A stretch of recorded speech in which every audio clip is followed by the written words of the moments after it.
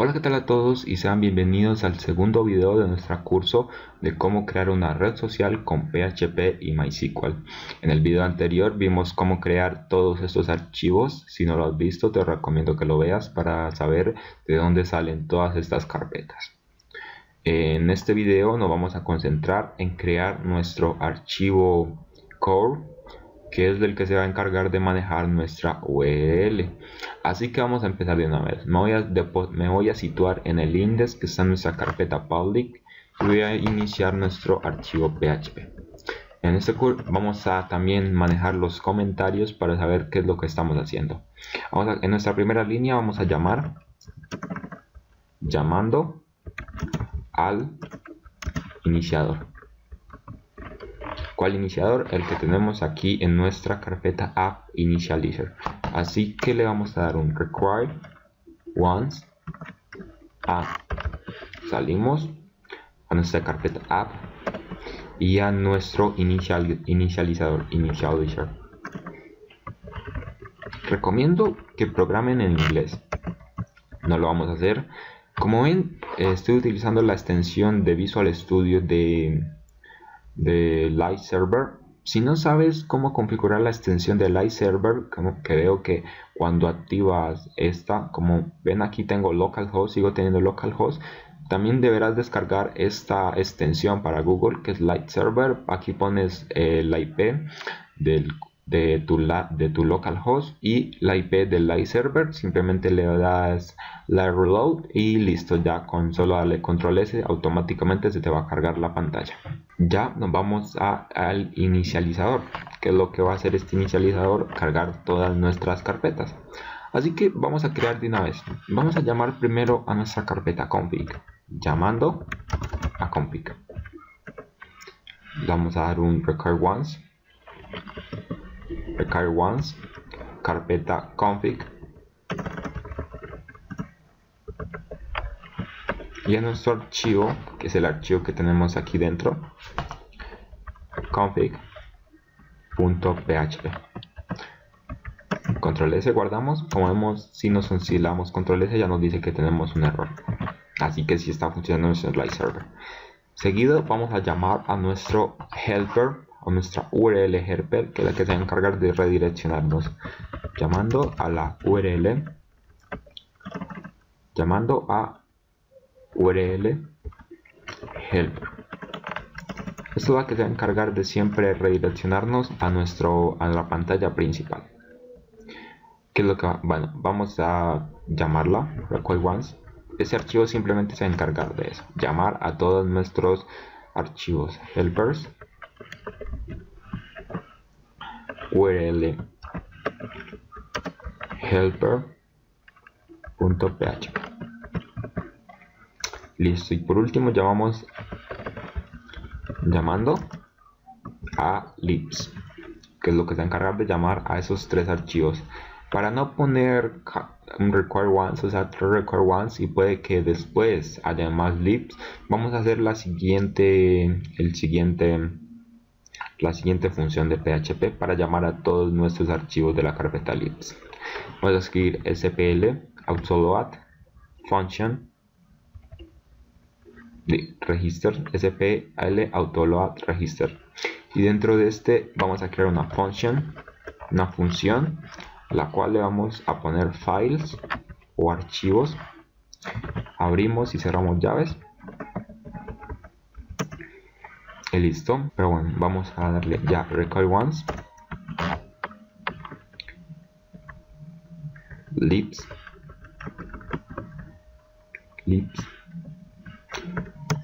ponemos nuestro file files files.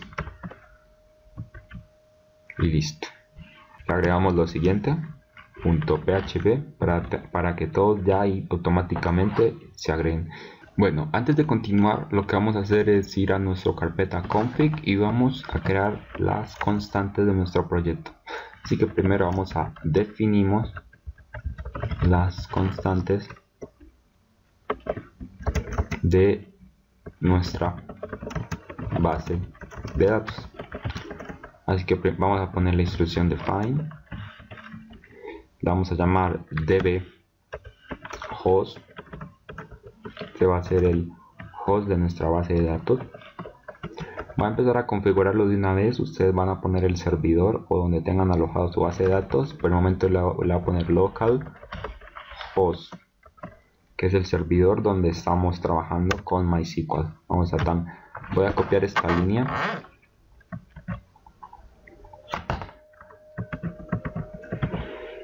Y a este le vamos a poner db name a este db author y a este db password. Como saben al password no se le pone nada. Al usuario si ustedes al, eso es lo como ustedes tengan configurado su localhost yo lo tengo como root y no tengo ningún nada en mi db password. Vamos a ir a localhost nuestra base de datos se llama red social. Aquí vemos que tenemos todas nuestras tablas así que simplemente voy a copiar este nombre y yo lo voy a pegar donde dice dbname listo. Dbname ahora vamos a definir las constantes de nuestro proyecto. Define. Vamos a definir la url del proyecto o de mejor dicho de la carpeta app para que así nos sea más fácil ingresar a esta carpeta cuando la llamemos desde otras otros lugares. Que es lo que vamos a poner aquí vamos a copiar esta instrucción de php dir name. Dentro de este dir name vamos a poner otra vez dir name. Y la siguiente instrucción file. Si vemos si damos un eco de nuestra url app vemos que nos está tirando todo nuestro sam htdoc set red social y ya estamos en nuestra carpeta app vamos a definir otra. Define. Url project. Y este va a ser el servidor donde estemos. Yo como estamos en localhost vamos a poner http ttp dos puntos slash slash localhost red social y por último vamos a definir define name project. Así es como se va a llamar nuestro proyecto. Simplemente va a poner red social. Aquí es como aquí ustedes van a poner la url de su el nombre de su proyecto. Listo ahora lo que vamos a hacer es crear nuestro archivo core lo que va a ir en este archivo core es la parte que digamos que va a tener el código un poquito más enredado debido a que en este se va a encargar de llamar a nuestra url y separarla por controlador modelo y parámetros. Así que vamos a empezar creando nuestra clase core core. Seguido de eso vamos a crear unas unas seguido eso vamos a crear unas variables. Listo he creado otras dos variables que sería nuestro método actual que lo vamos a siempre a llevar al index y unos parámetros que lo vamos a, que va a ser igual a un array ya que pueden haber muchos parámetros. Listo vamos a crear nuestro constructor. Public function construct y vamos a crear las variables que nos van a ayudar a nuestra url que solo va a ser una. Así que public function. Y lo voy a llamar get URL listo. Eh, vamos a primero a, trabajar con nuestra función get URL así que vamos a hacer una condición if iset que iset es una propiedad de, de PHP para evaluar si algo existe.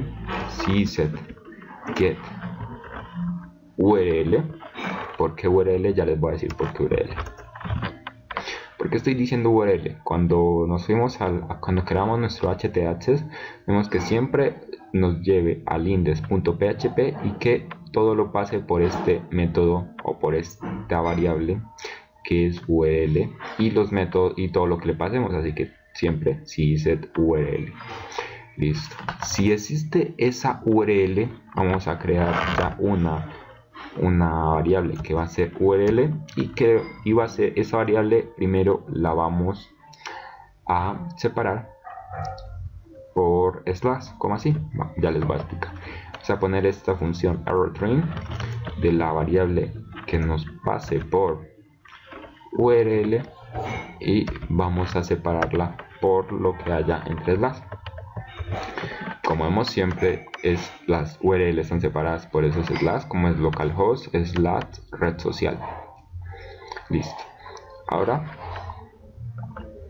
vamos a filtrar esos slash así que ponemos url va a ser igual a filter guion bajo bar y vamos a pasarle esa url que ya está filtrada por esos slash y la vamos a poner filter sanitize-url. Y por último vamos a explorar todos esos arrays y le vamos a llamar a url va a ser igual a la función explode lo que haya pasado por slash y url ya nuestra variable. Y vamos a retornar return nuestra url listo ya terminamos con nuestra función getURL vemos si le damos echo. Primero vamos a hacer esto una variable url que va a ser igual a this get url vamos a hacer otra condición que si file sys existe ¿Cuál, valor si que existe si nuestra carpeta en nuestros controllers existe lo que le pasemos por vamos a esta función de use words vamos a esconder el menú con control B lo pueden hacer use words.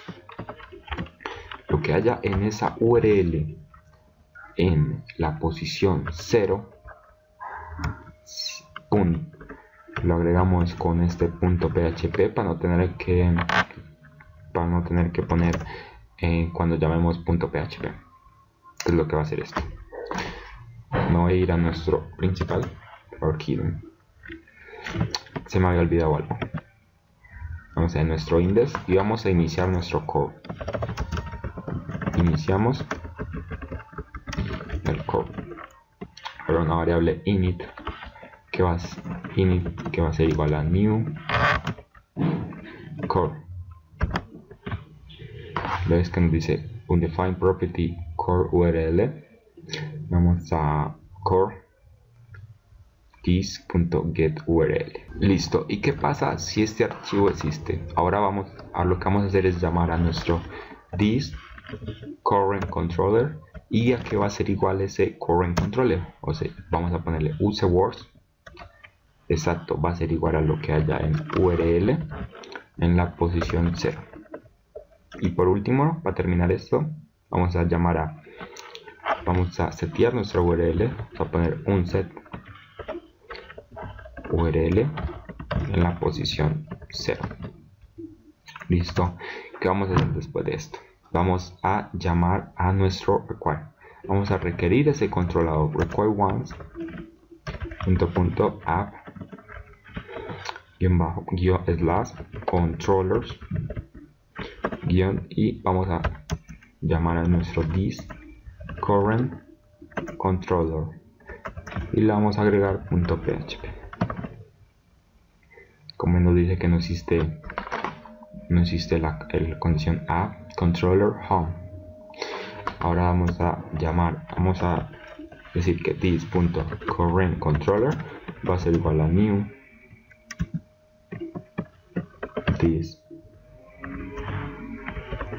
current controller listo. Vamos a crear en nuestro controller vamos a llamar a vamos a crear un home.php como ya existe. Pero ahora vamos a hacer php y vamos a crear nuestra clase home aquí me equivoqué en algo como en esto es una función así que le debemos poner nuestros paréntesis y ahora sí no tenemos ningún error. Listo. Ahora qué necesitamos hacer necesitamos llamar a nuestros métodos. Así que lo que vamos a hacer es otra condicional así que if method exist qué método va a existir this.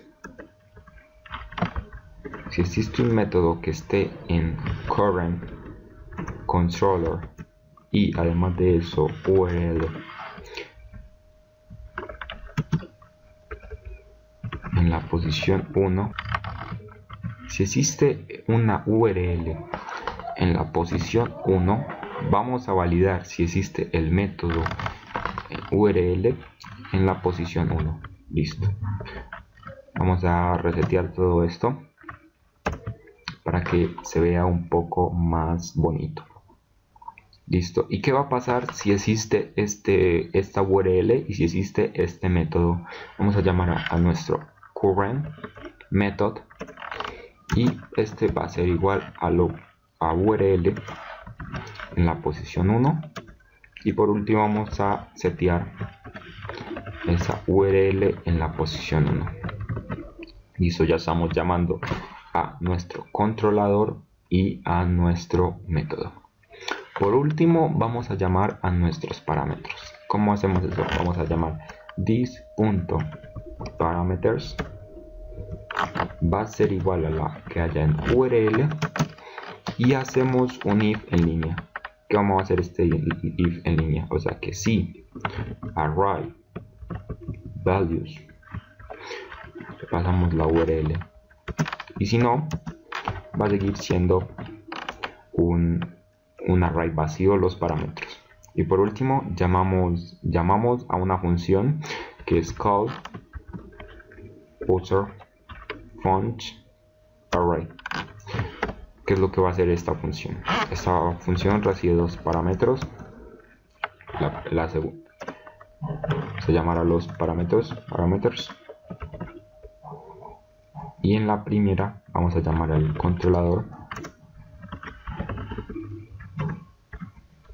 y a nuestro método current method. Listo. Como nos dice no existe unos parámetros en la función home. Vamos a home vamos a nuestra función home. Vamos a primero crear un public function. Vamos a crear nuestro constructor. Y vamos a crear nuestro public function index que va a ser el método por defecto si no hay ningún método como él ya se quita todo esto. Y listo eso sería todo el video eso sería todo por el día de hoy. Todo este código va a estar en el archivo que dejaré en la descripción que cada video estoy dejando. Sé que no está muy bien explicado todo esto, pero vamos a ir de una manera mm, rápida. Eh, si quieren, eh, pueden ir investigando para qué sirve cada uno de estos. Por ejemplo, sys, lo require. Esto es programación orientada a objetos, como ven con constructores y funciones. Si no saben programación orientada a objetos, les dejaré un curso que me ha parecido muy bueno en la descripción. Y me despido y nos vemos en el tercer video de esta serie. Adiós.